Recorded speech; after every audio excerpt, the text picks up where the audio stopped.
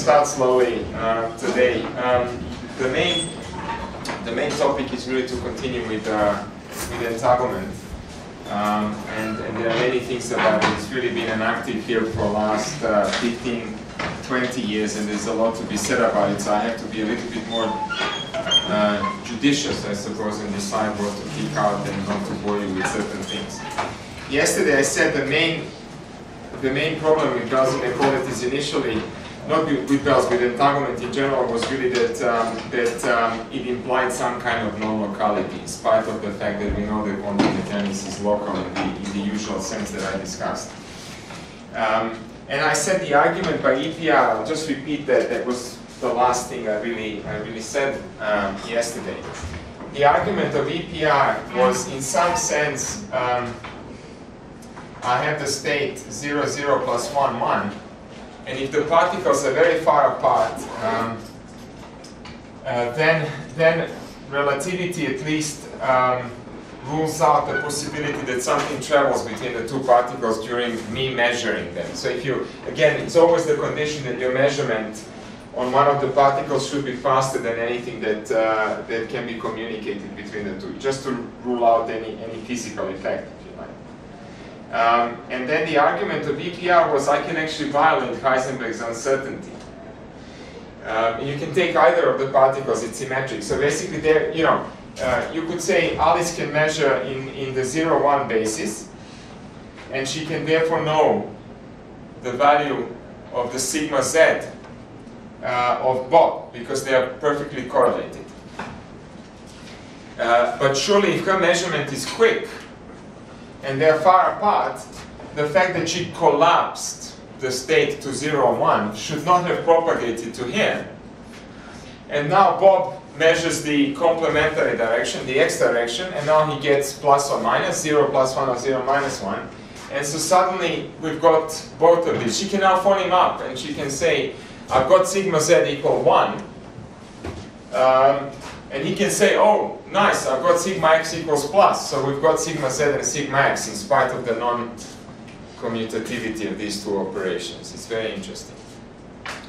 Um, and actually, I'll take a very small digression now just to say a little bit more about this non-commutativity, because what I have to say now is a kind of reply to EPR, uh, much more properly, I think, than, uh, than what I said Bohr did Of course, Bohr was rushing to, to reply to rescue quantum mechanics as it were, as if it needs any rescue in some sense. But, but basically, the point is that you have to be very careful um, when you talk about quantum mechanics in general and what's allowed. And if you stick to the formulation that we keep talking about, which is I do something here to make something in my lab, then I let that something evolve in the most general way, and then I do something else to extract the information about that. It's always like that. We physicists call this preparation, evolution, and measurement, and everything again is of that form in quantum mechanics. So there's a very beautiful problem called the mean king problem, which is a parallel game in some sense to uh, to understanding entanglement, and it, it's led to lots of concepts, I think, like mutually unbiased basis and things like that. And, and the problem in its formulation goes like this. So there is a mean king. Let's say King Arthur was an extremely mean guy. And, and he catches his wife, Lady Guinevere, cheating on him with his knight, Sir Lancelot. Okay, so, so very well-known love story between Sir Lancelot and Arthur's wife. And Arthur is not very happy about it and he wants to punish his wife in some sense. So he's got the Excalibur, he's ready to chop her head off. But he doesn't want to appear to be too nasty and he wants to still kind of maintain his nice image with all the other people in the country. So he says to her, I'll give you a way out if you can answer the following question. I have a spin half system with me. So, so King Arthur was uh, very fond of popular quantum physics. He read a lot about, uh, about quantum mechanics. And he says, I've got this guy, and I'm going to make a measurement, and you're guessing already what he's going to measure, sigma z or sigma x. I'm going to choose, you will not know what I choose, either sigma x or sigma z. And what I want you to do is to tell me uh, the outcome of this measurement no matter what it is. If you make a mistake, so he's being very nasty because he read some of the uncertainty principle, he read that these guys cannot be simultaneously determined, and of course now he's appearing to be nice to people who don't know quantum mechanics, but uh, to anyone else it's clear that his wife has got to die. And then, of course, he still loves Guinevere, and of course he doesn't really understand quantum mechanics properly, as we do, so he says to her, to her, okay, I'll give you, I'll give you a little bit of leeway. I'll allow you to hold the spin half initially before I measure it. Then you give it to me, then I measure it in some way.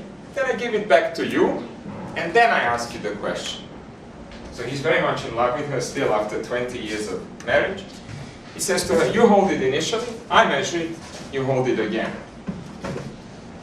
And the amazing thing is Guinevere, if she plays it right, never dies. Now she can always answer the question, even though she does not know what her husband is going to measure.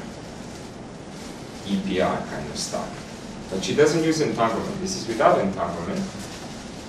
But it actually now goes a little bit deeper into the quantum mechanics of things. So the question, this is the mean king problem, and the question is what does she need to do? Any guesses?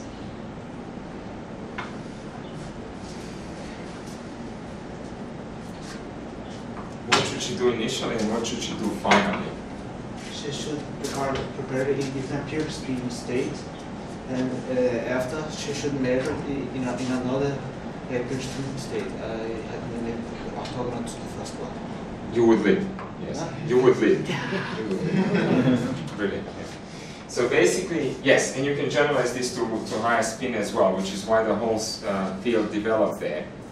But then you had to worry about what the complementary basis is and all of these things, and that's where the mutually unbiased basis comes in. So what Guinevere has to do is prepare the, prepare the spin in an eigenstate of one of the two. Sigma z or sigma x, doesn't matter. So let's say she really prepares the z basis and she prepares state zero. Then she gives it to her husband. If her husband measures in that basis, he's got to get zero. And when he gives it back to her and asks, uh, what's the value of sigma z, she will know that it's zero because she prepared it. Then she gets lucky. If he measures x, of course that's a bit problematic because now he's going to get either state plus or minus, 0 plus 1 or 0 minus 1. But of course he's kind enough and ignorant of the true meaning of quantum mechanics and the uncertainty relations, and he gives it back to them. So at the end, if she measures exactly like you said in the x basis, then she will know the outcome that he got here, because she's got to get the same outcome that he did. So if you have access to the preparation of your system, and subsequently the final preparation of the measurement of your system, then you can actually measure, you can tell, now I'm using a foul language because you're not really violating anything, but it looks as though you can answer definitively the state of spin in both x and z. There is no contradiction here. This is quantum mechanics. This is not, uh, there's no entanglement there. But you can see that with entanglement, it is a little bit like this because the first measurement here is a little bit like the first preparation, and the second measurement by Bob is like Guinevere getting the spin back and measuring it again. And actually, that's it. So EPR is dead in some sense, in, in the sense that quantum mechanics is okay. So I'm giving in a way the same reply as Bob, there is no inconsistency. Uh, there may be some spiritual inconsistency, depending how you interpreted quantum mechanics in your head, but there is nothing wrong with the formalism, and it really is like that. so of course, another way of saying this, mathematically speaking, is that what's unusual about entanglement here is is that this state, if you rotate it to the plus minus basis, looks exactly the same. And you have to go into another basis to see that there is something unusual. If, if you always stay in the 0, 1 basis, then this state is as correlated as any classically correlated state. So, you know, if I wrote the state 0, 0 with some probability, let's say half, and 1, 1, and this is a completely separable state. It's a mixture of two states that are not at all correlated. Then if you stay within the z basis, you can never tell the difference between these two. I'm leading into Bell's inequalities and why you need to construct them in the way you do. So you need to measure in some other basis. It's not enough to do the z measurements. You need to measure in the x basis and then you will see that the state plus, plus, plus, plus, and minus, minus, minus, minus, if you like, is not the same state as this guy, whereas quantum mechanically you get exactly the same, the same guy. So that's what's unusual. And now I'll, I'll, I'll, say a little bit about what Bell did. So Bell somehow turned all of these puzzles and, and, uh, and apparent paradoxes into, into, into a number. And it's really, it's, it's, it probably was the biggest breakthrough in terms of, in terms of foundations of quantum mechanics. Um, so what, what, what was his reasoning? His reasoning was, I need to allow Alice and Bob to measure complementary uh, bases. Um, it, it, turns out actually that, um, that for maximum violation, you don't go from z into x, but you go between um, exactly halfway between x and z. And that, for some reason, gives you the maximum violation of Bell's inequalities. The x and z themselves will also give you something that classical physics cannot achieve, but it's not going to be the maximum. So what Bell said is, um, and so what Bell said is, is, is the best thing is, let's give two, he didn't quite say this, he did it with, with fewer things, but, but this is what it turned out to be ultimately. Um, he said, let's, let's have two measurements on Alice's side, let's have two measurements, and they are now projected measurements. You can also ask yourself what happens if I turn this into, into a CP map in general and have more outcomes and so on. That's also possible. You can construct your own Bell's inequalities in this way. Uh, I don't know how much of it has been done either. Um, so basically what, what he does now is he says each of these is a binary uh, variable dichotomic as, as, as some people call it. They are basically two outcomes uh, only. And then he said if I combine it in a, in a very smart way, and this is what, uh, what took a little bit of thinking, I guess that's the major, major contribution that he made. I think it was either made on a Saturday or on a Sunday. That's a safe bet because Bell was a high energy physicist and he did quantum physics foundations for fun. He wasn't allowed to do that at CERN. He had to calculate, shut up and calculate non-stop. And then on weekends, he would, uh, it's like, you know, he would become uh, his uh, alter ego, I suppose, like Dr. Jekyll and Mr. Hyde. Uh, and uh, and Mr. Hyde was the guy who derived uh, this kind of stuff. So now, how did he, what did he say? He said, imagine all of this is statistical simply because quantum mechanics only allows you to extract averages. And so you have to build up your statistics. Um, it's very difficult to do this with a single shot. Although there are interesting things you can do with a single shot, and we'll go into that as well. So now imagine that these guys uh, share lots of these pairs of, uh, of, uh, of entangled particles. And then what, what Bell said is, is, here is what I'm going to construct. Um, Alice is going to measure either A1 or A2, and she can choose randomly just to play it completely fair to, to rule out any conspiracy. And so will Bob. And then at the end of the whole game, they will get together and compute a certain operator.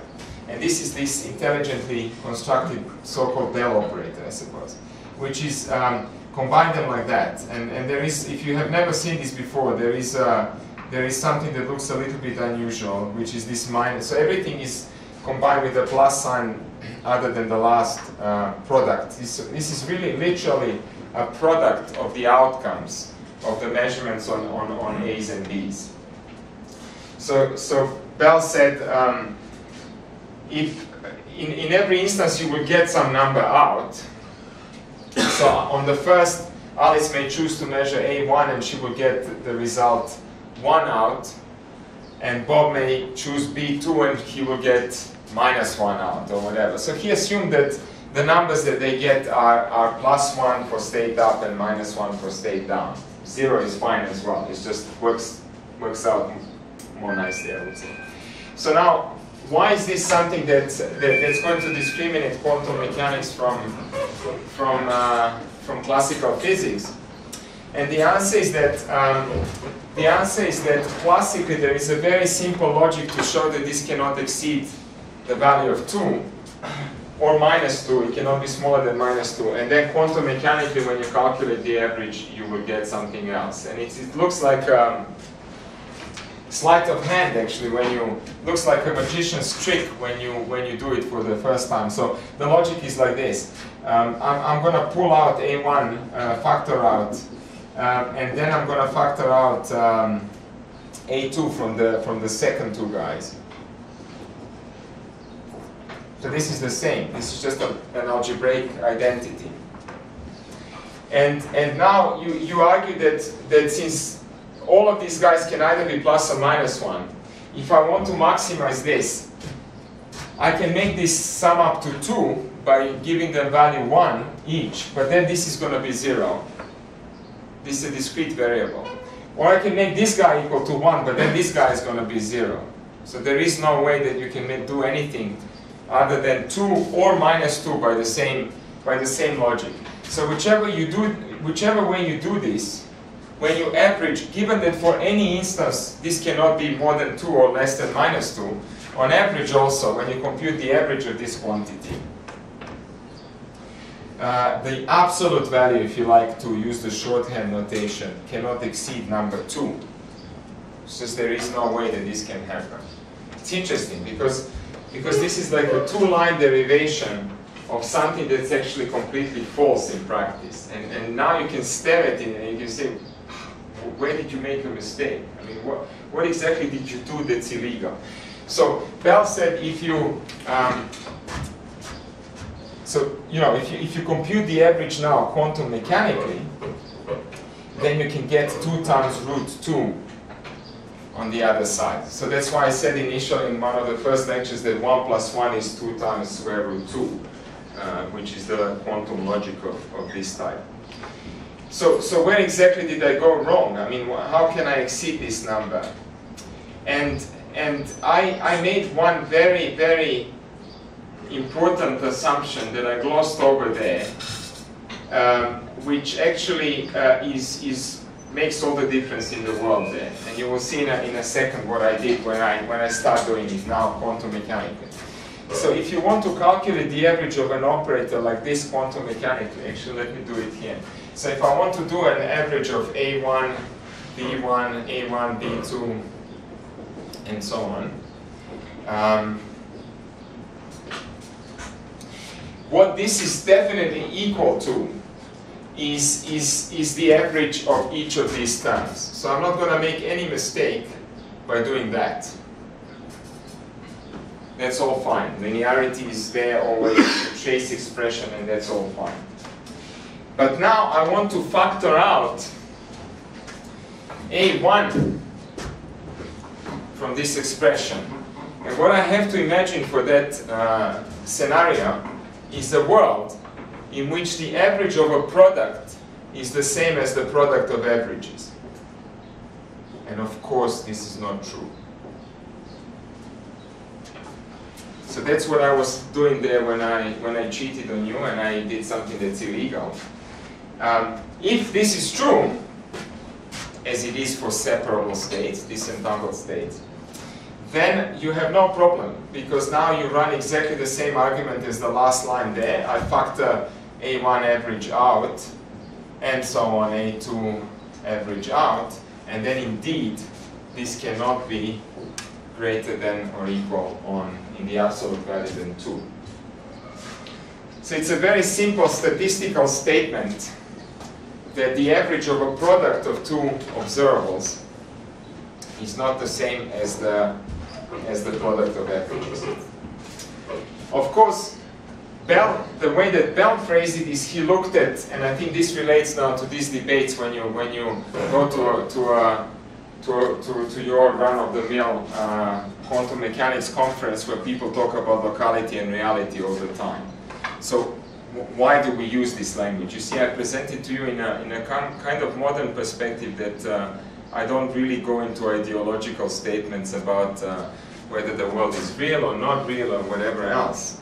Uh, but of course, in Bell's sense, this had a very this had a very, very precise meaning. So the meaning is the following.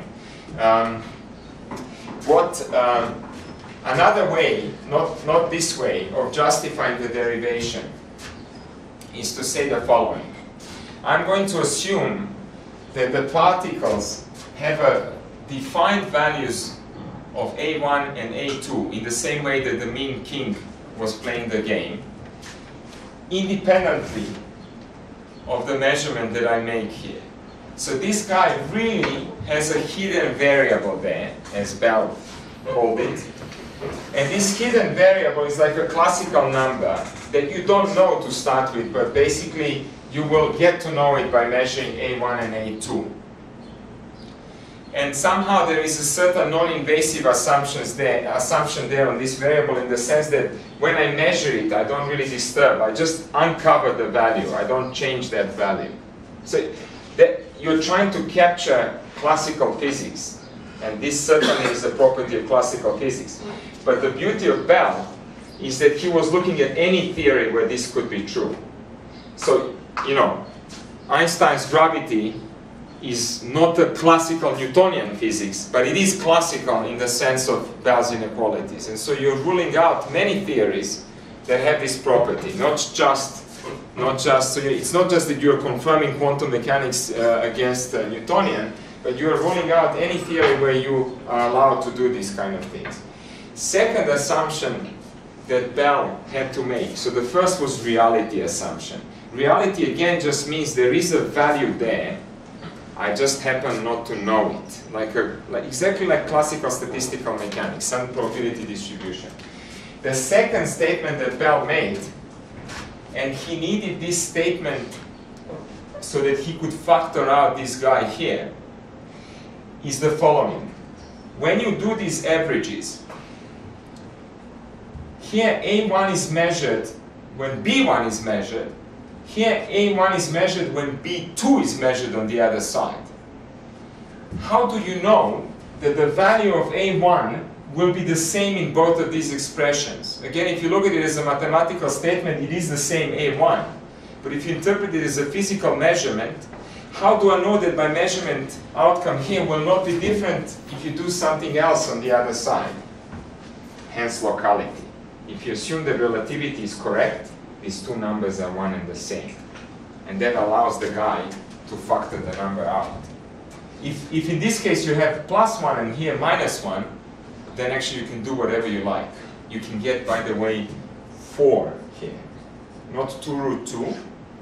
So 2 root 2, if you are a little bit more mathematically minded, is smaller than 4 by quite a bit, larger than 2. And actually you can go all the way up to 4 if you're allowed to fiddle non-locally with things like that. It's also interesting. Um, so now Bell had reality and he had locality. And this is one of those debates, actually, as we talked about, which people interpret in the following way. The fact that Bell's inequalities are ruled out, they are basically violated by quantum mechanical systems, means that one of the two assumptions of Bell's are actually incorrect. and now you've got a choice as a physicist or as a human being. Do you believe that the world is non-local, i.e. relativity is violated, or do you believe that the world is unreal, i.e. there are no hidden variables in the sense that they exist independently of the measurements that you make? And here is a nice choice for all of us, okay? So are you a surrealist or are you a non-localist, or whichever else uh, this would imply? So that's why we, usually people, funnily enough, I would say if you really talk to, to most of the practitioners, I think we're pretty happy with relativity, and I think lots of us will be very, very reluctant to give that up, which means that you don't believe in the reality independently of your measurement, which in other words means you believe in superpositions, really, that you can rotate things and so on, which, which is true. Uh, but, but usually people talk about entanglement as being non-locality. So that's interesting. But that would really correspond to the to the emotion that you want the world to be real. In a sense, everything is out there, even even though you don't really measure it. And then and then, of course, what what seems to be the case is that something travels faster than the speed of light. Although we can never use this for any communication, as we proved previously. So that's the that's the whole debate. I think it explains a little bit this debate uh, between these two issues. And then probably the most recent development in this direction was um, by Tony Leggett, who, who said, well, Bell tells you that you're, you can equally give up either of the two assumptions, because Bell's inequalities don't tell you which one is more likely to fail than the other. But then he constructed another set of inequalities, slightly different but very similar logic, combining different measurement operators.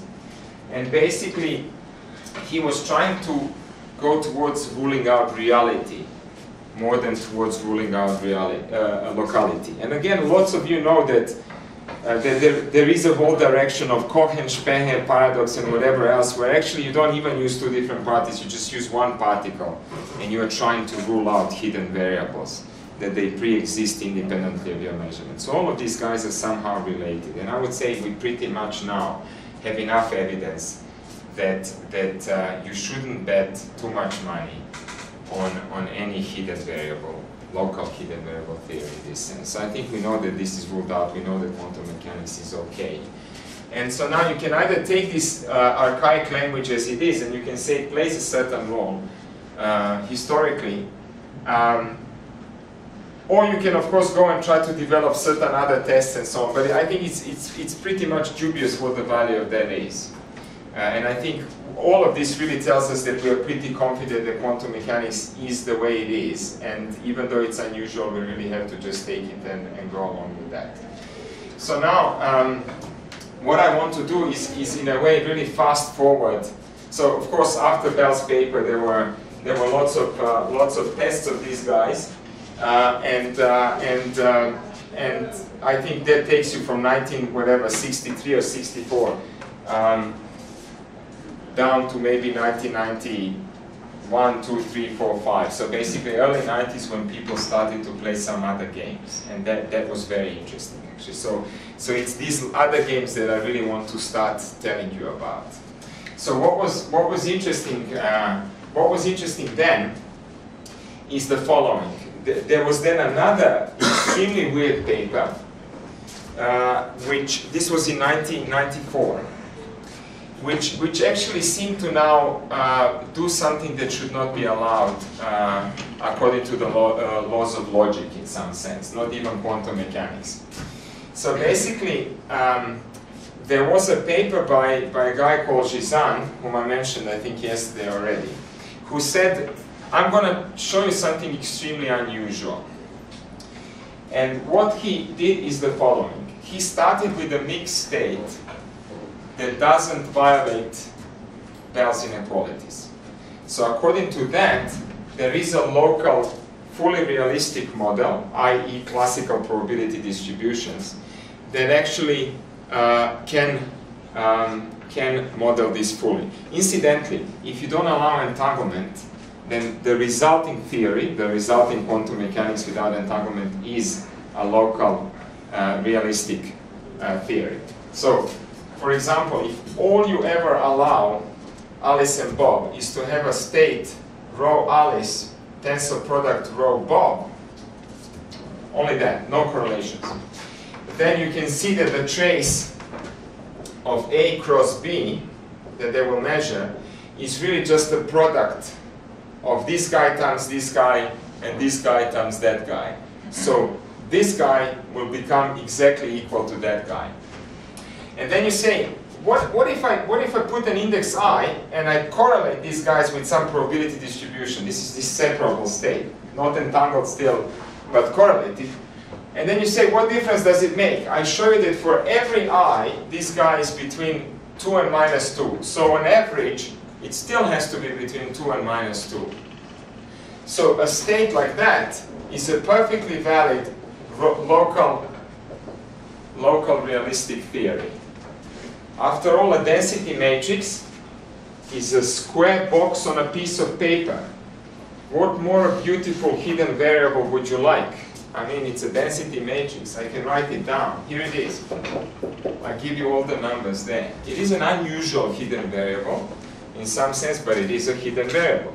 And they're local for A and for B. So states like this never, never violate Bell's inequalities. But what Gisin did is he said, I'm going to take a maximally, I'm going to take a maximally uh, entangled state, and I'm going to mix it with a state that's not entangled.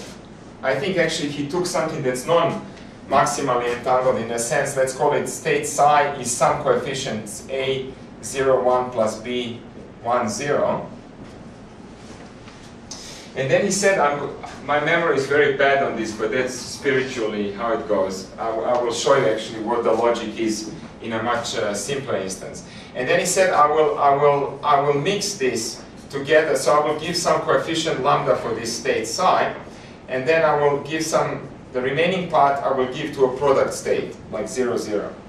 So I've got entanglement with some probability, and if your lambda is smaller and smaller and smaller and smaller, at some stage you hit the boundary where you can no longer exceed the number 2 root 2. And, and at that point, you have a local hidden variable model, whatever it is. This guarantees that you do. It may not be obvious to construct. And, and what Gisin then said is, now I'm going to do something fantastic. And this really was considered initially magic. I thought there was something wrong with the paper. And in fact, uh, that's, that's more or less how I started uh, doing my, my PhD on these things by, by seeing this paper and trying to see that uh, what's wrong with it in some sense. And of course there is nothing wrong with it and the whole thing of entanglement, distillation, purification, formation and everything else developed out of, out of just this very simple example. So, so this guy Gisin actually has, um, has contributed in, in, in many ways to the field, very much like people like Bennett and so on. So so what he, what, he, what he did, all he did now is he said, again, Alice and Bob share this. Alice is going to make a local measurement which with certain probability will give you a more entangled state. How did he do that? He basically really thought about photo photons and he thought about attenuating one polarization against the other one. So if you have a fiber, birefringent one in some sense, which is more likely to absorb a photon if it's vertically or horizontally polarized as opposed to the other direction, what you can do, if you let the photon go through this fiber for a certain amount of time, for a certain distance, you can reduce one of these coefficients against the other one. So let's say A happens to be larger than B to start with. Then you just attenuate uh, attenuate this component here until they're equal to each other. You can calculate that if I give you A and B. And the state that then comes out is what we call the psi plus state. So if you manage to do that, which obviously I will show you actually how to do exactly, uh, with CP map and with the higher church of higher Hilbert space, if you like, which is the clearer one. If you get that state, now you're mixing a more entangled state here and you can show that the resulting state violates Bell's inequalities. So, what's the mystery? The mystery is that I started with something that admits local hidden variables. All I did is a local operation on that. And suddenly I get something non-local. How can two local things give me a non-local thing? This he offered as a, as a paper in physics letters. This was physics letters only because this was prior to 95. After 95, this is all PRL and natures and everything else. That's when the field took off exponentially. This is Shor's algorithm, time, and everything else. So basically, he does that and he says this is really unusual. I mean, I shouldn't be able to do that, but actually, I do experiments on photons and I really do that. I show you that in, in practice. So the question, of course, was, was exactly how can this kind of stuff be allowed Alright, so that's something I will come back to next. There's one, one small point I would like to make before, before we break up. So what I will do, what I will do after break is I will show you how this purification of entanglement goes in general. And then I will show you actually that if you think of it not as a single copy, but if you think of it asymptotically by doing this on many copies, then the same calculation as the one we did for Shannon's entropies and von Neumann entropies applies here to give you a measure of entanglement that's unique. And that's also very, very interesting. So now you, you can see that we are going very much beyond what Bell had in mind. And all of this is going to tell us that there is something more to entanglement than, than appears to be the case at first sight. Of course, the punchline which, which, which I will reveal is that the state that he started with was actually an entangled state, even though it didn't violate Bell's inequalities. So this is this was the realization that, that there was some entanglement, but these guys are not good enough. And that led us to the game of witnessing entanglement and things like that. So there was not, nothing paradoxical. He didn't amplify zero entanglement to finite entanglement by local means. What he did is he amplified some existing entanglement probabilistically, but somehow he crossed the boundary of, uh, of, uh, of Bell's inequality. So in, in, a sense, it's a very cute example, but there is nothing, nothing wrong about it. Now, the, the, the, the final statement I, I wanted to make is also, is also, I think, an interesting direction. And I, we know a little bit about it already. And now people are probably doing uh, quite a lot of work in that direction. The mystery here is, is already the one I alluded to. Um, we've got this very funny number, 2 root 2, as the maximum violation. So a guy called Tsirelson proved that this, this bound is the highest you can get with two quantum bits. And so it's not 4, because initially you could think that if I have four numbers, each of which can be plus or minus 1, I can easily have plus 1, plus 1, plus 1, minus minus 1, and I could get 4 out of the whole logic. Um, so you can ask yourself, why did, why did God excite us a little bit, but didn't quite give us enough power to be able to do even better things? So why did God say, I'll give you something better than classical physics, but only a little bit better, by root 2. I don't want to excite you too much and give you all four units of correlations. And physicists, we physicists always talk about knowing the mind of God. Why is the world the way it is? Why 2 root 2? No physicist is satisfied with a number that looks as funny as that. And uh, do we have an answer to that? we don't. But we know one interesting thing, and it's the following. If you give me all four units of correlations. Then there are certain tasks in computing, which I will talk about probably sometime next week or the week after, which, which normally are extremely difficult tasks to achieve. One of them is this famous coordination of diaries between two people. So I have a diary, a busy diary, you have a busy diary, and you and I have to agree on a date or a time when to meet. How do we do that if each of one of us has n entries in the diary? And the only way that we can that we can do that is, is just like the search algorithm. It's a very slow process. Either we do it randomly, on average this is the same strategy, or we start one by one. And I say, 1st of January, are you free? You look at your 1st of January, no. 2nd of January, are you free? No. And you can see that the worst case scenario is that you're just going to be free on the, on the New Year's Eve. And that means both of us have got to, this is almost a real life example actually with some people. And then you have to go through the whole diary and it scales very badly if you, if you think it's basically, you don't think even in terms of n, but the fact that you can write the diary uh, with log n bits means that this is an exponentially hard problem. Like any search, it's a really super difficult problem. Now, you give me four units of Bell's inequalities instead of 2 root 2, I can do it in a single shot. Okay? So in a sense, the answer to this question, the only answer I can meaningfully give it at the moment, is that God didn't want to make our life too easy. Okay? So everything would become super easy.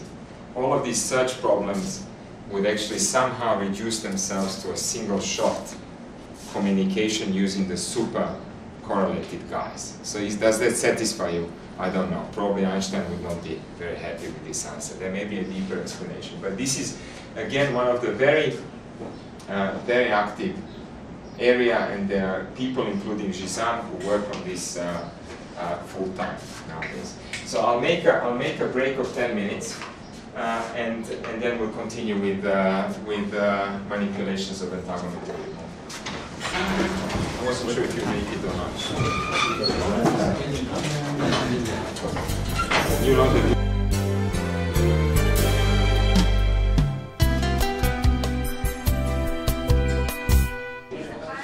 I have an announcement to make, actually it's not part of the course necessarily. So, so basically, um, there is a, there is an exciting event happening tonight that Marcelo informed me of, and uh, and it's actually a compulsory part of the course. You are not allowed to miss this. I'll be saying things during this evening there that I will be testing on Monday morning at 10 o'clock. so miss it at your own peril.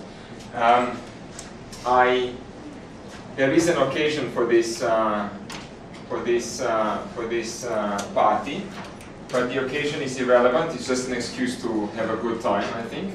So everyone from here is invited, and I think it's a good opportunity to socialize a little bit out of outside of the more formal context. The address is there. I will let Marcelo pronounce it. His Portuguese is slightly better, I think, than mine. um, the map is here as well. We have a map of the of the place, but apparently I'm hearing that the best thing is just to get into like with a group of people and share taxis today. It's it's not quite a walking distance, but it's not very expensive to get to get there. And I think if you just get in groups of four or something like that and, and take a take a taxi, that's probably the easiest thing. And you have to drink, you have to take things to drink and to use. You have to bring some food and, and drinks and so on. And for Marcel and myself extra. we'll be at the door waiting for your donation. Anyhow, I hope to see you there later on. We'll be all hanging outside around drinking beer as usual, so I think you know no one will run away for at least one hour probably after the lecture. So what I want to do now is continue a little bit with uh, with this uh, problem of Gisin's and I want to show you what he really did and how he did it and, and, and that it's all nice and physical. So the logic was really that he said that he could. The, the key point is that he did, you know, he had a mixed state and he didn't touch the, the disentangled component of that. So I don't really need to show you what happens with that guy. What I want to show you is really what happens with, um, um, with, uh, with the other bit of that, uh, of that uh, the pure part of that. So basically in the pure part, he had a state like, uh, like 0, 1 plus 1, 0, or 0, 0 plus 1, 1, it makes no difference. Um, but with some amplitudes, uh, 0, 0 plus 1, 1. And the question is, he wanted to get to a state with some probability, which is not zero, obviously, otherwise there's no sense. Uh, to a state 1 over root 2, 0, 0 plus 1, 1. And the question is, how do you do that, actually? Uh, and I said, I said rather kind of uh, uh, trivially, you can, you, what you have to do is attenuate the larger coefficient, reduce the amplitude. But that sounds a little bit dodgy, like how exactly am I going to be reducing the amplitude and still maintaining the coherence between these two? Because if I do something that's a measurement, a, a genuine projective measurement, then I'm really going to disentangle the state and that's going to kill the whole, the whole game. So how do I do a weak measurement, which is what we talked about before as a POVM, so that I don't really disturb things as, as much as that. And, and again, it's nice to think of it as a, think of it as a, as a physical implementation now, really. Think of these zeros and ones as, as presences and absences of, uh, of photons, for example, just to have something physical in mind. Um, and it's, this implementation would be different to the one he had in mind. He talked about polarization, so 0 and 1 were the, were the two uh, degrees of uh, polarization, if you like, H and V. Um, and, and imagine that there is an atom now, so this is your ancilla. Now I'm going to extend the, the space. Imagine that you start with an, an atom in the, in the ground state, for example. so basically, uh, the state here is still the same. And this atom, as usual, is only going to be on Alice's side. It's a little bit like teleportation. This guy belongs to Alice, so does this guy, and this guy is on the other side, uh, belonging to Bob. And we're not going to touch it. The atom is only going to see the first photon, if you like, or the absence of the first photon. And now you run the usual, what people call the Jaynes Cummings model, like the exchange interaction. And, and what you do, what you do is um, you basically you basically interact this uh, mode of the field with this state here. And we all know you don't have to really solve the Jaynes Cummings model to know what's going to happen. Uh, this is all now on A side, so I'll drop the indices uh, shortly. Um, if I don't have any excitation in the atom or in the field, then of course nothing can happen. I mean, they exchange stuff, but there is nothing to exchange. So this state always stays the same state. It's an eigenstate of, of, of the guy in other words. So this is still G0. So you see, I need something that discriminates 0 from 1. That's how I'm going to attenuate the 1-1 component or the 0-0 component. That's the logic of this if you, if you want to know how it's constructed. And, and the G1, uh, what does that do? Well, you know, there is this Rabi frequency, and I think we'll talk about it when we, when we, when we talk about gates. So depending on how long you let the interaction go, uh, then, then you will have something like cos omega t. Omega is the strength of the interaction, t is the time, so I'm rewriting it fully physically if you were to implement this. Um, so, you know, how would you implement that? You would have two cavities prepared in, in a state like that you would shoot, so they would be entangled to start with. You'd shoot an atom through this cavity, a two-level atom, in the ground state. So Haroche does this every time he get, gets up and has, instead of having breakfast, he does this kind of experiments. I mean, this is, this is their bread and butter, and a few other groups as well. They're, they're super difficult. It's taken him something like 25 years to enjoy his breakfast, but basically now he's doing it uh, extremely well. Um, so now he shoots an atom, and during this period when the atom is here, it starts to feel the presence or the absence of the photon. So the T, the omega is the strength of that coupling, the T is simply the time it takes this atom to go across the cavity. So it depends on the speed. They can control the speed, they can velocity select and all of these things. So there are of course extremely many intricacies there experimental. But all that matters to us is that um, this only stays G1 with certain amplitude, but it also goes coherently, it's exactly Rabi flopping if you're familiar with that, into the exchanged state. So this is the state where the photon gets absorbed by the atom, the atom gets excited, the photon is lost from the cavity. So again, most of you hopefully know this kind of stuff. And so this is also on the A side. This is a unitary transformation. So now I'm going to evolve this state and just write down the, the final state, which is just the sum of these two states. So let's see what this guy becomes under this kind of interaction. So you've got the first component, nothing exciting happens. It stays the way it is. Uh, G0, and of course Bob's uh, cavity doesn't get affected at all. Now the B side of things looks a little bit more interesting because G1 goes into this cos, so basically goes into cos omega t uh, G1 plus sine omega t uh, E, sorry, E0. Okay? And there is, there is a final state 1, again for Bob, which is simply unchanged by the whole inter That's what it means to be a local interaction. And now I'm going to do, uh, now what I'm going to do is I'm going to factor out the state of the atom. Because what I'm going to do is I'm going to measure the atom as it comes. So prepare uh, measure, as always. And, and so atom is effectively going to be out of the game. It's the environment I had to add, and it's the one I pull out at the end of the game. Uh, but what's interesting now is if I factor out the G of the atom, what I get is A00 zero here, but I get B cos omega t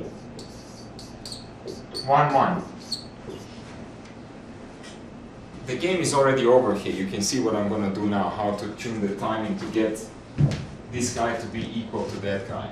But of course, I've got another component, which is actually the bad one. That's the excited state of the atom. And if the atom is really excited, which happens with, uh, so let's write it in the same way that I'm pulling out the states of the atom. So, so this has sine omega t, if you like, inside, and it's got the state 0, 1. So of course I can take the sign out, but I'm just writing it aesthetic uh, logically, if you like. And here it is. And now I measure the atom in the, in the state either G or E. If I get lucky, and I can tell you the probability to get lucky, it's basically the square of this guy. That's the probability to get unlucky. So 1 minus that is the probability to get lucky. If I get lucky over there, then what, what happens? So if I measure G, imagine I measure G here at the output again. So that means I prepared it in G and I confirmed that it's in G. These are measurements we can do with these four nines that I mentioned before, 99.99% efficiency. There, there's no uncertainty there. Then I'm left with this state of the, of the field. And all I need to do now is make sure that my timing, I know the, the coupling usually, what I have to make sure is that my timing is such that this is equal to A in which case the two coefficients are the same and I've got the maximally entangled state that I wanted in the first place.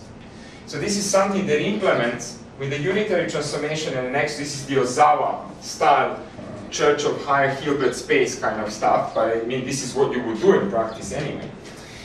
Um, and I really have created a maximally entangled state, but the price I pay is that there is a chance that the whole thing fails me. And if the whole thing fails me, then I'm left with a completely disentangled state.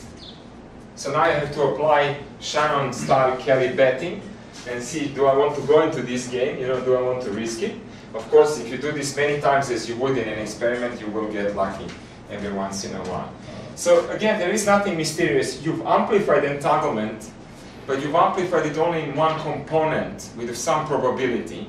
So in a way, and this is how people started thinking about these things subsequently, in a way, you didn't really increase the overall entanglement. Because on average, if you average the disentangled state plus this guy here, you will get at least, at, at, at, most, as much entanglement as before. You cannot really change that. And the logic is again that locally you should not be able to change uh, these kind of things. In fact, if you do what I suggested here, you will get the highest probability of, uh, of success, uh, then you can, so you can ask yourself, why don't you do something else? Why don't you set 15 atoms, get them all to interact, measure them in some funny way when they come out, and actually this happens to be the best you can do. It achieves the highest probability. Um, and the probability, so if, if you assume, if you assume in this state that A is the smaller coefficient, I mean, strictly speaking, they could be complex numbers then, then the probability with which, with which you're going to do this is twice mod a squared. And that, in a way, is, you see, this is how, again, people started thinking, well, this is a good way of measuring entanglement. Um, what's the probability with which I can get a maximally entangled state? And the probability is 2 times a squared. So imagine a was 0 to start with. Then you started with a disentangled state, and you can never get any entanglement out of it. So the measure really nicely says that it's zero. The larger A, the higher the probability to get a maximally entangled state.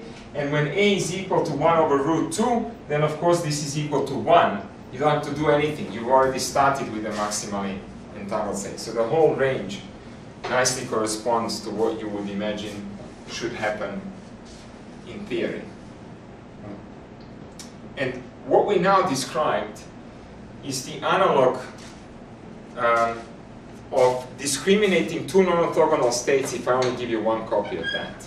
Here I'm giving you one copy, I'm giving Alice and Bob, I'm giving two cavities one copy. And, and we know that things are not as efficient if you can do something only once than if you can keep repeating this. So if, if you're really, if you're familiar with information theory, you will immediately say this guy is wrong. And if someone says, why is this guy wrong? How do you know that? It's not the best you can do. You would say because it doesn't have a log in the formula. It's got to be a log. I mean, in the asymptotic sense, everything becomes a log in statistical mechanics or information theory. So this guy is wrong, obviously. There is another expression. But I'm never going to be able to derive it bit by bit. I have to engage the whole uh, infinite or large number of, of these pairs. And this is where the uh, where the field then started to develop. So I, I, will tell you a little bit about that. And then I think, I mean, again, the, there is an awful lot to be said about each of these things. And I will try to walk this line between higher level theory and, and low level, I was going to say, and a different level uh, experiment, which I guess is, is much easier to, to understand when you translate it to something like that. Again, the beauty of quantum information is that once you get the whole game, I don't need to present everything as cavities and things like that. Once I've showed you this in terms of zeros and ones, then any system you take will actually be uh, a valid physical system for this kind of stuff. So once you understand qubits in the abstract sense, you can understand everything. Once I went to, uh, incidentally, to CSIRT to give a seminar, two to three seminar, and I talk about something. I, I think I talked about geometrical phases. And, and, and, um, and the people get up from the audience and two people approach me and they say, we can do what, what, what you're suggesting we can do in Josephson junctions. And I said to them, I'm actually more of a quantum optician. I have no idea what a Josephson junction is. And the guy just translated the junction into a qubit. And 15 minutes later, I was an expert on Josephson junctions. Immediately, I became a solid state physicist. Now people think of me as a solid state physicist.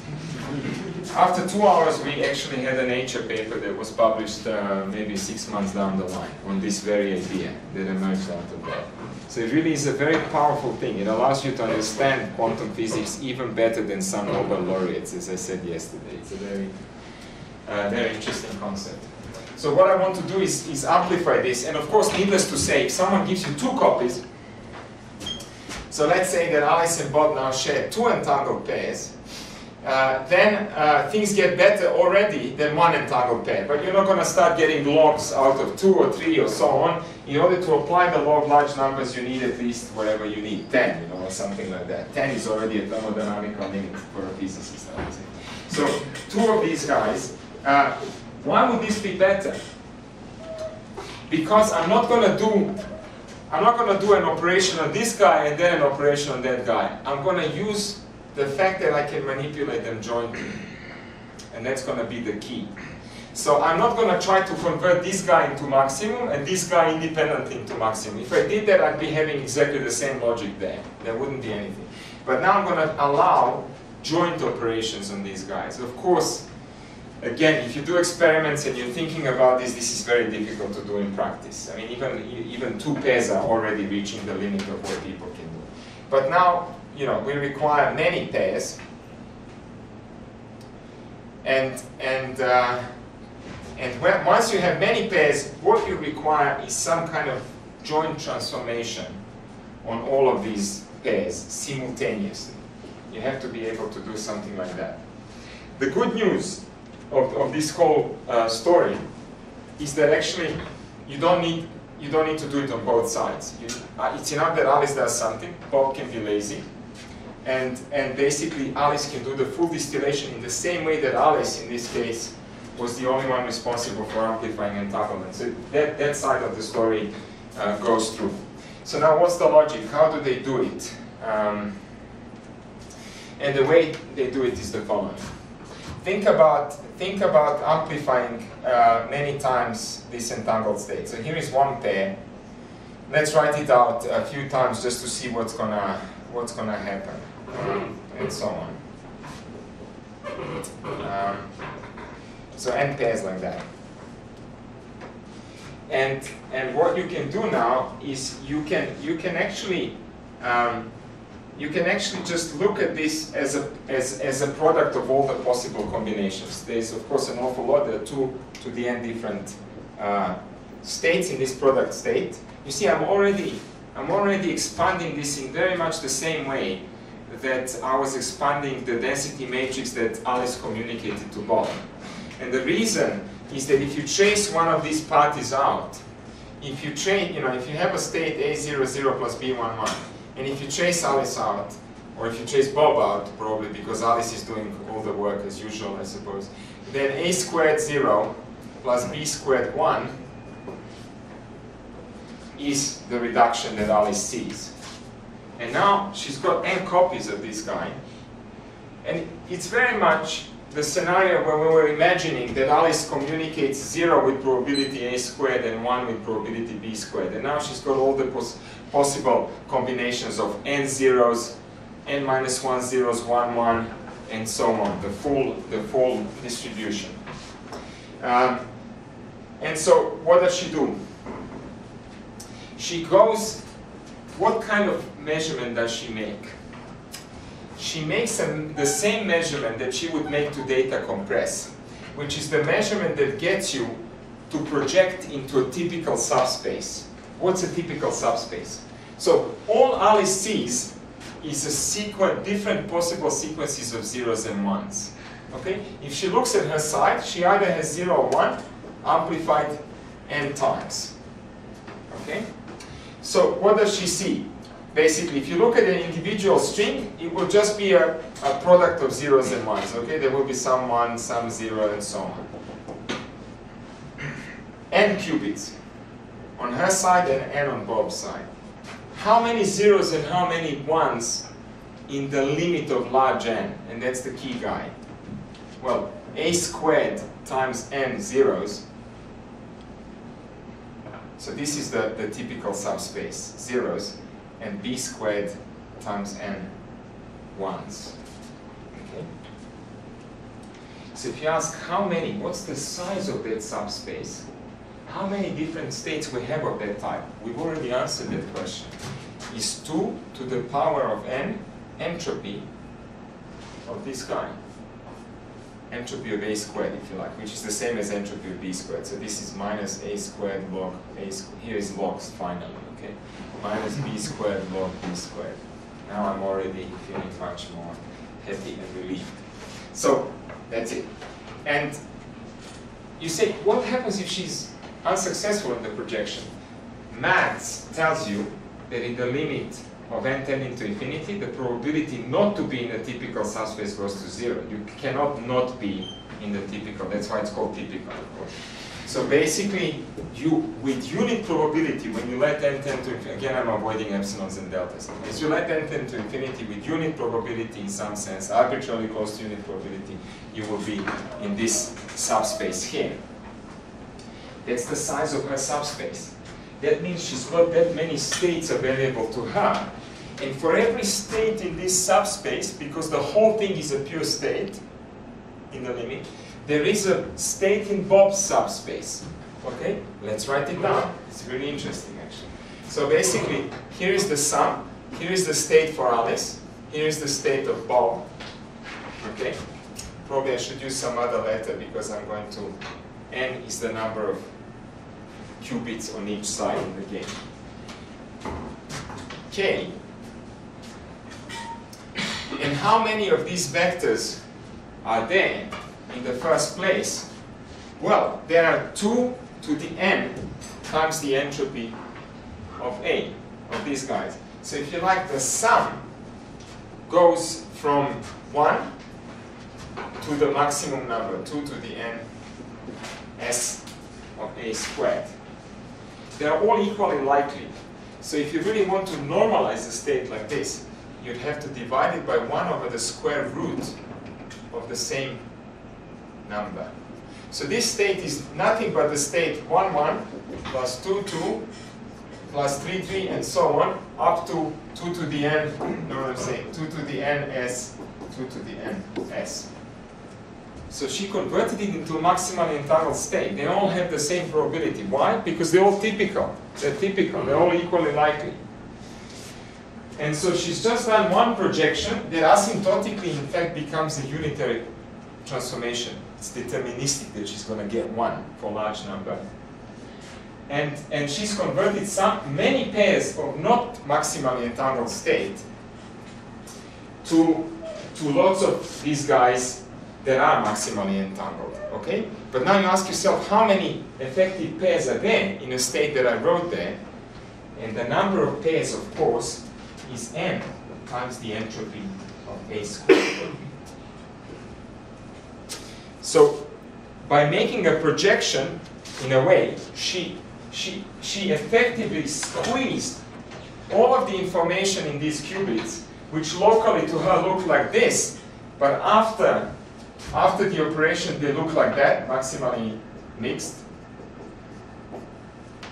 So you can show that that state can be unitarily transformed into a state where you've got these many maximally entangled pairs. How do I know that?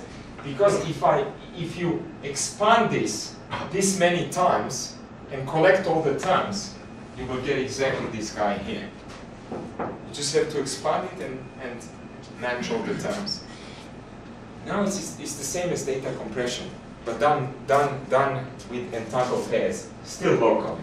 So basically the, the game now, and this was really, this was, uh, this was realized by people like Bennett and, and, and, and his colleagues at, um, at IBM, that if you start um, with, uh, with, with n pairs of non-maximally entangled state, you can actually locally distill at most n times the entropy of this a squared quantity. And therefore they said, why don't we call this the amount of entanglement of a pure state. So it turns out that it's very, so that's something I want to discuss a little bit now. So it turns out that for a pure state, and this now of course generalizes to any uh, to any dimensionality, they could be uh, they could be d-level systems on each side, if you like. The amount of entanglement in this state is actually equal to the Shannon entropy or the von Neumann entropy of the reduction. So this is minus a squared log a squared minus b squared log b squared. And the formal proof is exactly like this. That's, that's what they wrote the paper about. Um, so again, does this check out? And you can again check the, so when I kept referring to these guys as maximally entangled states, the quantity I was using to justify that is in fact entropy. You can see that when a squared equals b squared equals a half, I do get one unit of entanglement. People call this one E bit, one entanglement bit, in direct analogy with a, with a qubit. And, and, and of course the other extreme, when one of the coefficients is zero and the other one is one, you, you haven't got anything to start with, and this guy is zero then, which just tells you that you cannot purify any entanglement by local means. So this is a very beautiful generalization of, of Gisin's single pair scheme, and it really gives you now something that you may call a unique uh, measure of entanglement. So after this, I would say uh, the game developed in, in, in a number in, in a number of different directions. One, one was really, and this I think an immediate thing to, uh, to ask when you see something like that is, why do you only do pure states? Why do you allow Alice and Bob to share pure state, first of all, that's not so realistic. I mean, you cannot prepare a pure state by any means um, uh, with, with unit probability. So why not allow them mixed states? What's the game then? And the game then becomes, so in a way, you say, wouldn't it be nice to talk about the entanglement of any state in this way? To say, if you give me many copies in some state sigma, then the entanglement in this sigma is simply obtained by this local compression, and n would go into entanglement of sigma. And the question is, what is this guy? And this is this famous entanglement of distillation. And, we don't know what it is, actually. We don't have the number for that, uh, for that guy. So already there, when you start to ask these questions, you realize that it's a very difficult uh, open issue, and, and it's, you know, you, you waste a little bit of time and then you say, I give up, I can't really answer this question. I think by now everyone has actually given up on, on this issue. So it's still an open, an open problem. And there, there are of course many other, uh, many other notions that, are, that you can talk about here. Now, the one that I want to address a little bit um, is, is the following one.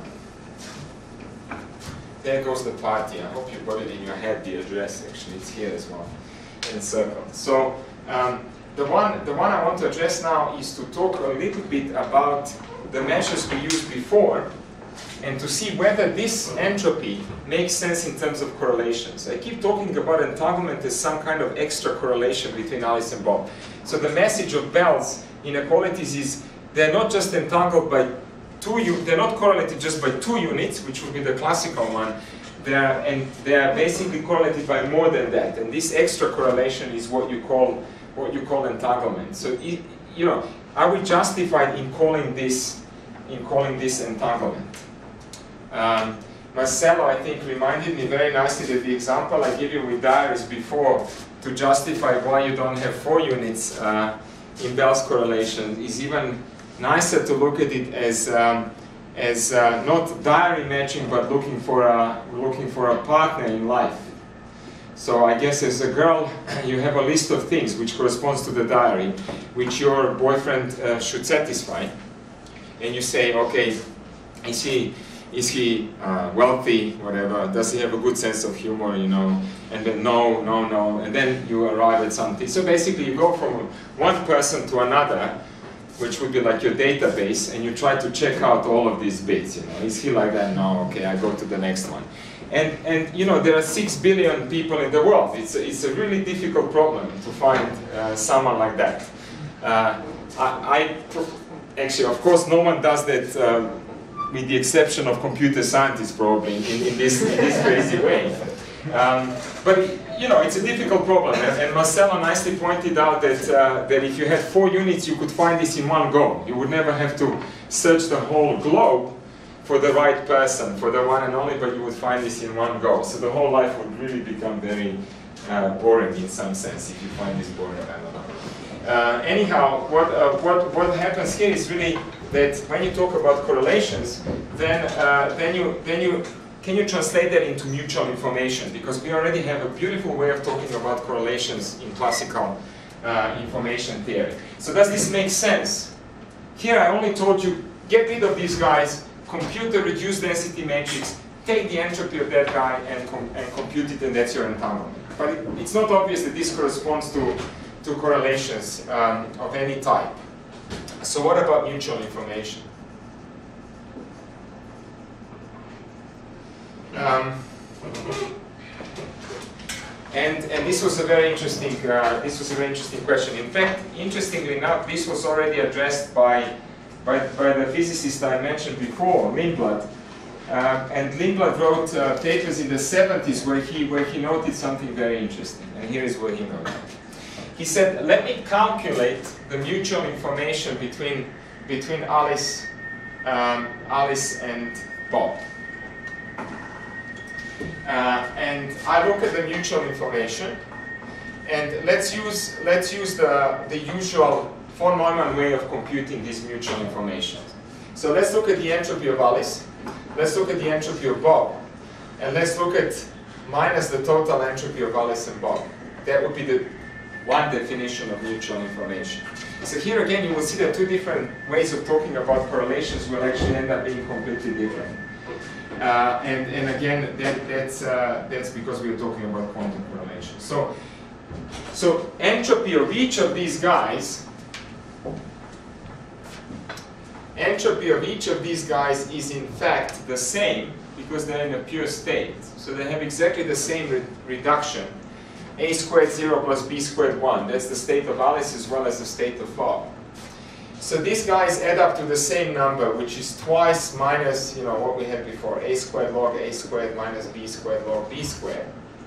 The total entropy is zero, because I've got a pure state. The total state is a pure state, and as we argued before, this has uh, zero amount of entropy, so minus zero. So here is your mutual information.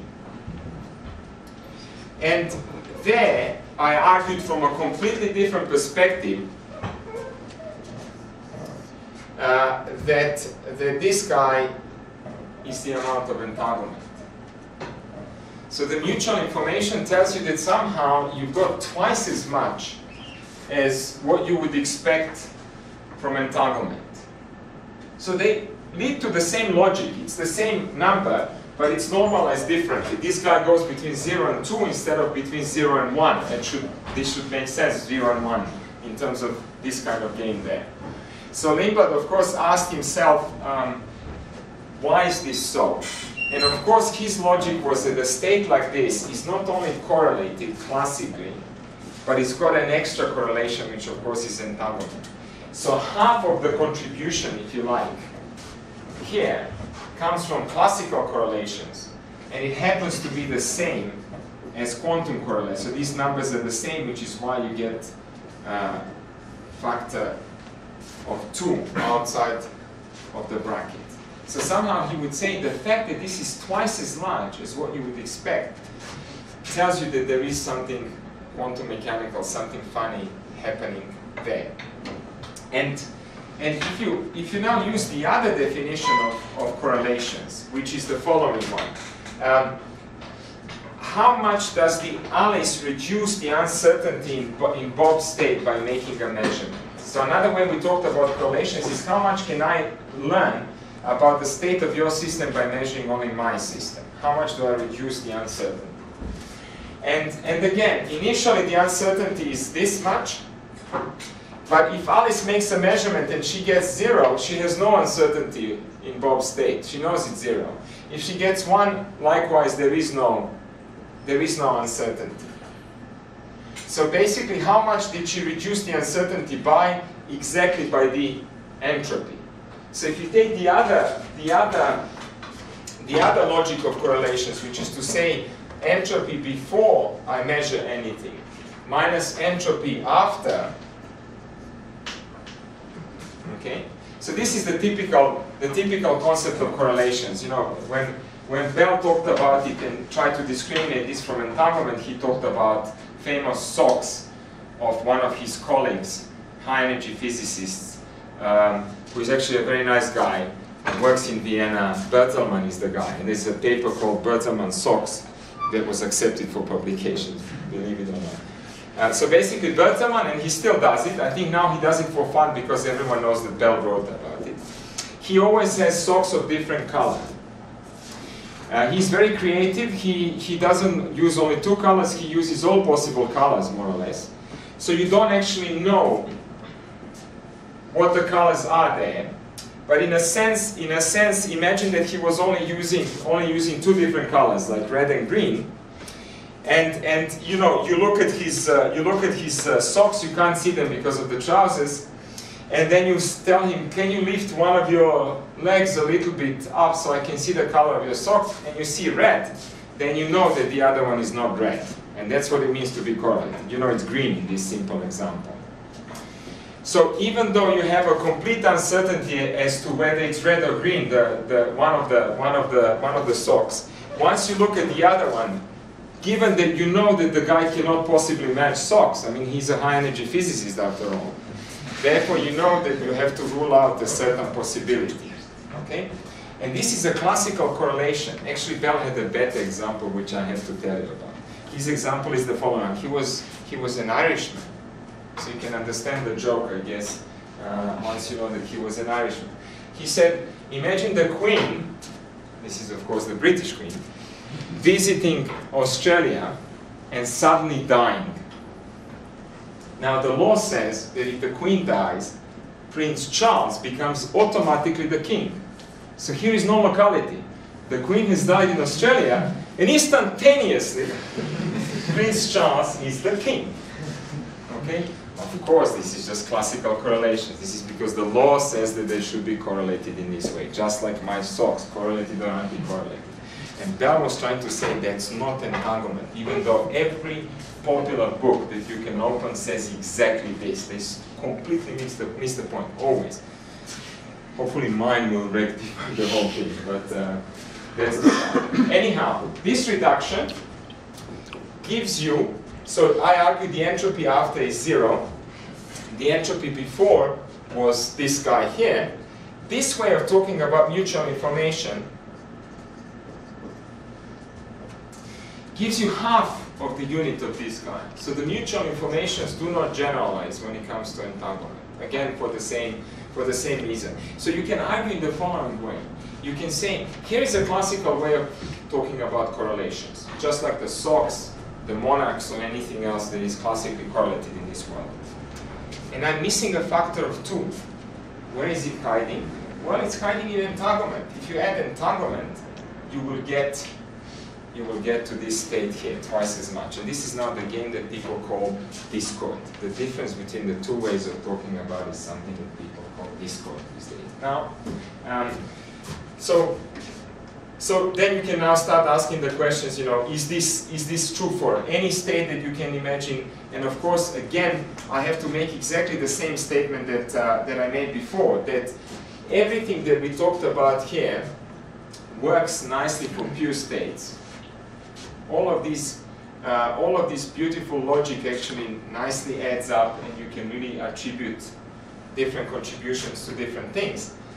But once you say, what happens if this is really a mixed state that Alice and Bob share, then we have a serious problem.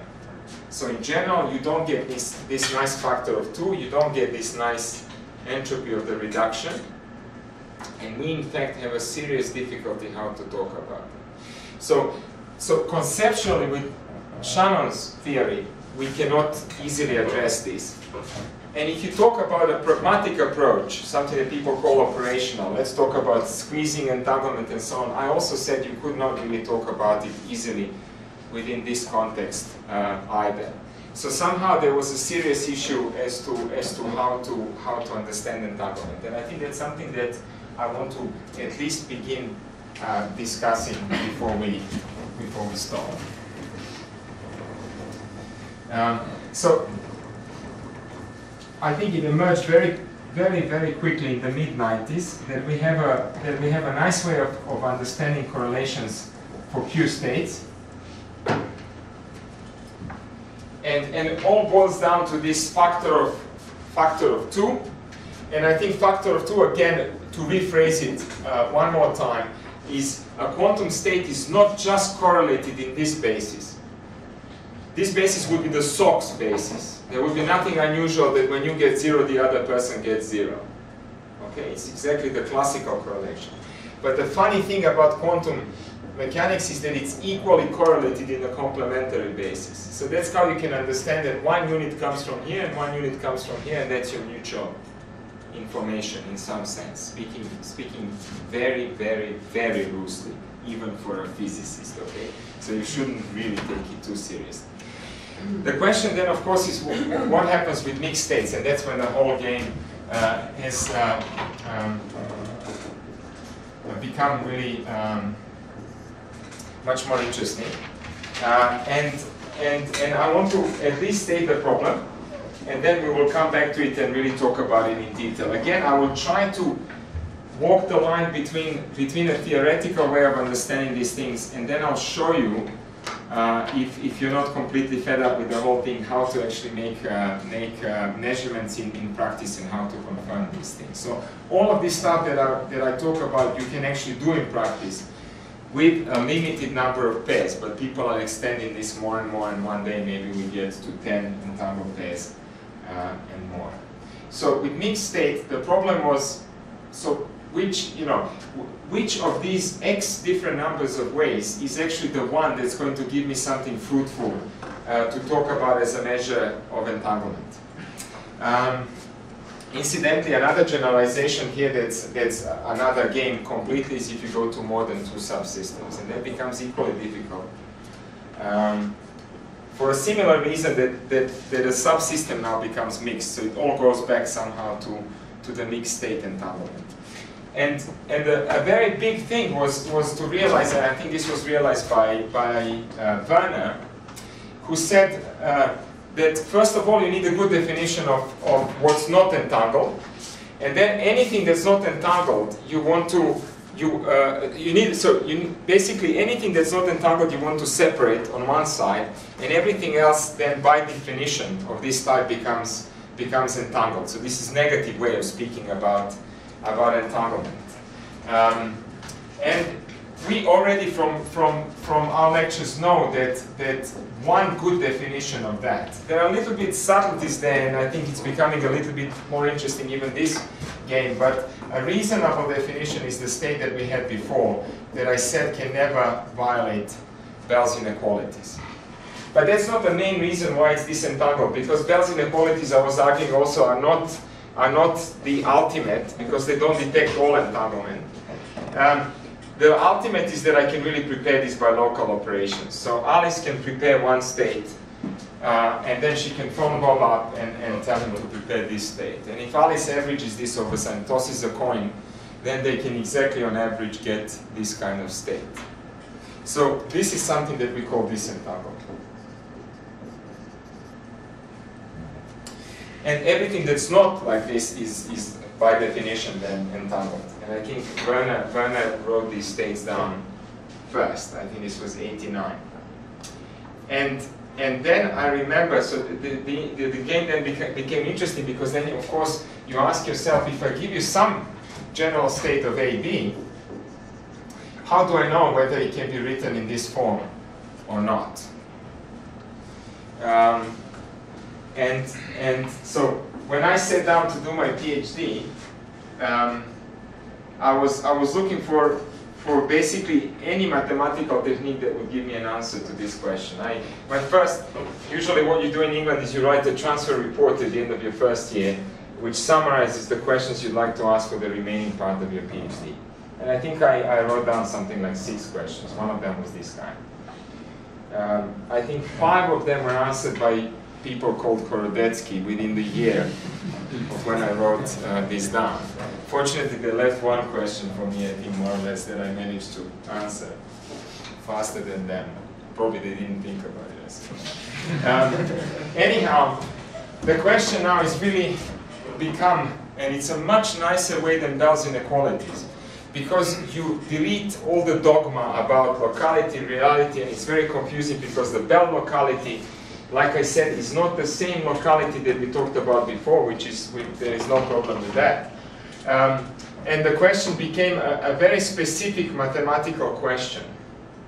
And I will develop this really next time when we talk about it. But, but the question was, was, uh, is phrased very nicely like, like this. You've got, a, you've got a set of all possible states, and you've got a subset of these guys which, which are not entangled. Um, I, uh, we actually don't really know what the set looks like. We know that it's a convex set because when we mix any two physical states, we get another physical state. That comes from axiom number one of grown-up version of quantum mechanics that states are density matrices. So any linear combination of a density matrix is another density matrix and therefore it's an allowed physical state. So linearity is encoded there. So now you, you, you, you mix uh, you know, lambda times rho plus 1 minus lambda times sigma, and you get another physical state. So if you can prepare rho and sigma, then you can toss a coin and prepare the mixture. That's what this is saying. Uh, so that's why I draw them as a convex set. We don't really know the edges of these guys and what it really looks like. This is still an open problem. Now, a subset of these guys are these guys here that have no uh, entanglement. And what you want to determine is whether a given rho to you is on this side of the boundary or on that side of the boundary. Okay? And I'm going to make one more statement and then I will stop. So how do you how do you solve this problem? So you have a point and you have to determine whether this point belongs to a convex set or not. And and I'm going to say something that's completely obvious to me, and I think every physicist will agree with me. Unfortunately, or not unfortunately, but in mathematics this is known as the Hahn-Banach theorem, and usually it's something that people dread when they're examined and asked to prove this during their undergraduate exam. It's one of the most intricate proofs of mathematics, the Hahn-Banach theorem. Don't ask me why, because I will state it now, and you will say, big deal, I buy it immediately. If you have a point outside of a convex set, here is a convex set of disentangled states. Again, if you combine any two disentangled states, you will get another disentangled state. if you have a point outside of a convex set, there is always a line such that the point is on one side of the line and the set is on the other side of the line. Does this sound to you like a theorem? It's obvious. Come on. It takes Hahn Banach, lots of single malt Scotch whiskies. This guy's, this guy Banach was famous for, for his whiskey club in Poland. He was drinking like crazy and actually proving theorems after being complete. He's the only person I know who can actually prove theorems after drinking an amazing amount of whiskey. And they had a notebook uh, with various questions actually that, uh, that they were asking, and one of them was this uh, uh, theorem that actually became the foundation of something that we call functional analysis. It actually invented the whole field in mathematics by playing uh, games like this. So, um, so now again, the statement is that um, if I have a point that doesn't belong to a set, for us this means if I have an entangled set, then I can detect it by drawing a line and saying everything to the right of this line is disentangled, or let's say disentangled states lie on the right side of this uh, line. Of course, in higher dimensions, this is a plane. You're really drawing a plane. And everything on the left-hand side of this is a point. Okay? And what I will have to do next time is, is really show you what this translates to. So this guy, I encourage you to, to read a little bit about Banach just for fun. So he actually didn't do a PhD for a long time. He just couldn't be bothered to write a thesis. He was already a professor uh, in Poland, and they were getting nervous at some stage because we have become more and more formal as time goes on with our requirements for academics. And then his colleagues were saying, look, I mean, this guy doesn't want to do a PhD, how do we force him? He's already a well-known mathematician, it's an embarrassment that our institute didn't give, me, give him a PhD thesis, a PhD title, we can't just give it to him, what do we do? So one of them, intelligently enough, goes to, goes to Banach and says to him, hey, you're my friend, I've got five problems I can't solve, I'm really desperate about them. And he gives, them five, he gives him five open problems in mathematics. And of course, a few weeks later, uh, Banach comes back and says, look, I've got the solutions to your problems. And the guy says, wait, wait a second, I'll call a few more people, just present it to, to us. And that's it, you know, and he became Dr. Banach. it's a really interesting story. So for us, of course, uh, this will have to be translated into something meaningful. And the meaningful statement is how to draw a line in quantum mechanics. And, and the line is drawn simply by an operator. So these, these guys are states. This will be some density matrix, if you like, that I call rho AB. This will be this disentangled or separable, as they call it, set of density matrices. And this will be some Hermitian operator that I'm going to call W because it stands for witness of entanglement. And, and this guy now is going to tell, so of course, you can, it took a long time for actually for this to be realized and proven formally and so on in the community. But actually, if you think about it, all you ever measure is the expectation value of a Hermitian operator in physics. So that's the only thing you can do. You can measure some operators. And, and what we are going to show somehow is that the trace of this W with respect to entangled states is different in some sense to the trace of W with respect to separable states. And that's your witness of entanglement. But geometrically, it means something like that. And I will translate it also into physical protocols and how to do these things. But I stop. It's Friday evening and we have to party. I think we still have probably time for questions as usual. So fire away. Yes, please. Um, three questions